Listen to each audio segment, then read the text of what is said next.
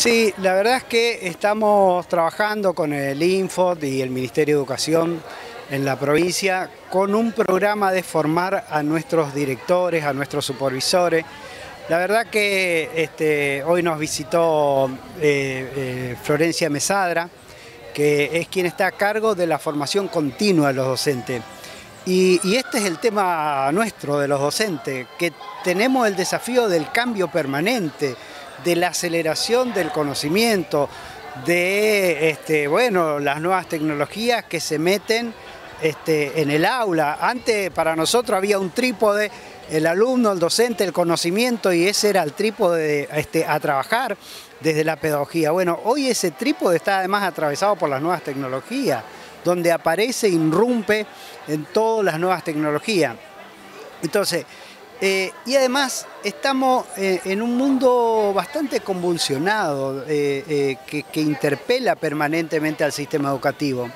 También trabajar el tema de la dimensión comunitaria, no solamente la, este, dimensión organizacional, pedagógica de la escuela, sino esta mirada hacia lo comunitario, hacia la articulación con, con el barrio, con la comunidad. Y bueno, vienen los especialistas a trabajar con nuestros directores. Estos directores a su vez van a ser formador de formadores, van a ir luego a formar a otros colegas docentes, a otros directivos. Y estamos generando, esto para mí me parece muy valioso de este programa, estamos generando una masa crítica de conocimiento que queda instalada en la jurisdicción, que queda instalada en la provincia para después poder desarrollar mejor y mayor capacitación en todo el ámbito de la provincia. ¿En qué tiempo, si bien la provincia viene trabajando bastante, pero en qué tiempo creen que eh, la cabeza del docente va a cambiar? No, el docente la verdad es que hace un gran esfuerzo y se va ayornando a los tiempos y va cambiando. Yo lo que digo es que el docente es un experto en su disciplina. Nosotros nos formamos en cada disciplina. Lo que pasa es que los tiempos van cambiando y a veces aceleradamente.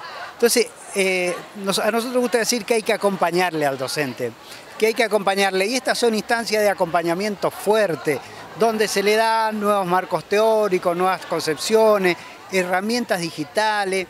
Hoy hay saberes, este, eh, hay competencias que demanda la sociedad y que las tienen que tener nuestros docentes, las tienen que tener nuestros alumnos para generar un aprendizaje colaborativo entre el docente, el alumno, la comunidad. ¿no?